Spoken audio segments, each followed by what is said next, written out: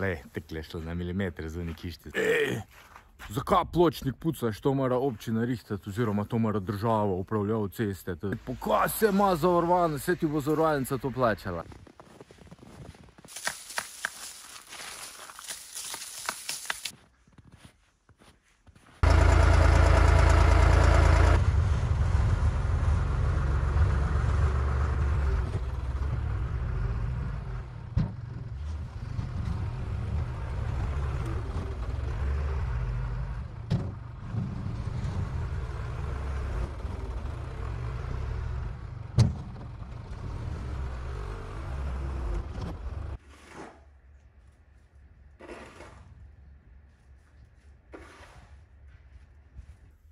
Živijo, evo pa imamo sneg, ki smo ga tako dolgo čakali.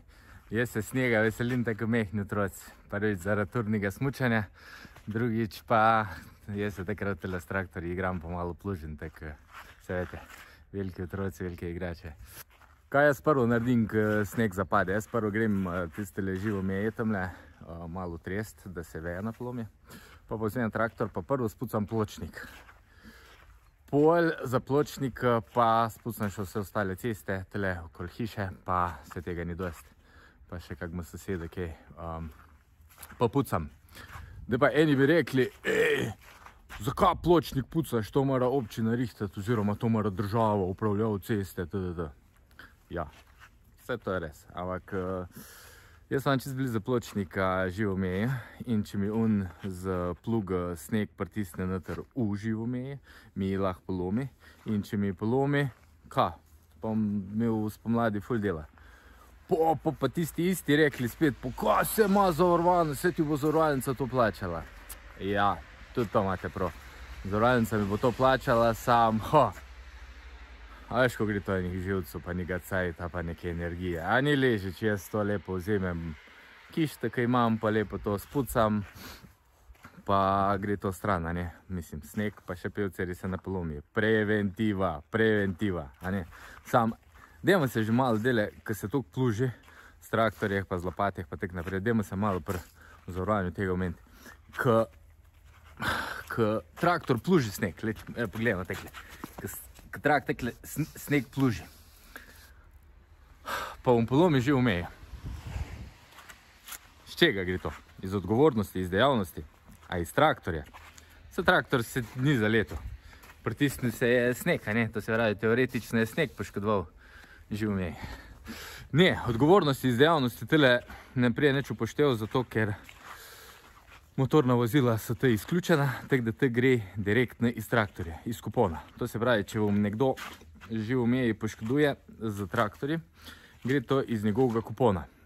In seveda, polja krita pač tista škoda, tisti polomljeni pevceri, pa je treba zamenjati, pa živa meja, pa tak naprej, ne, ampak, a... A bo zavarovalnica to plačala? A? Kaj pa malomarnost? Če mi vemo, da moramo nek tišet sneg, pa da bomo s tem nekaj poškodovali, pol to ni krita. Krita je nenadni dogodek, to se pravi, ko te nekaj zamekne, ko te zdrsneš, ono treta, to je krita. Ni pa krita, ko ti nekaj pritisneš noter, ker to si pa, če bi vedel, da tam ne gre, moraš pač ti sneg nekako odpeljati nekam stran. Se, se to je težko, ampak zato je leže, če ti vzemeš sam lopato pa spucaš. Kaj pa odgovornost iz dejavnosti krije?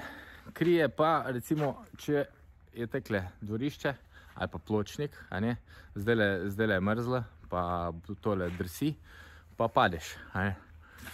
Ja, to pa upravljavc kriv, ki ni posud, pise, jaz sem pa jaz padel. Pa je res kriv?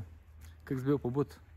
Če greš, da ti v enih supergeh, pa takih v zimske razmere, če nisi tekle v gojzirih, ko sem jaz, a ne, nisi primerno bud za ta zimski čas, in ti to iz odgovornosti ne boš mogel nič potegniti, ker si sam kriv, primerno se obuj, zima je.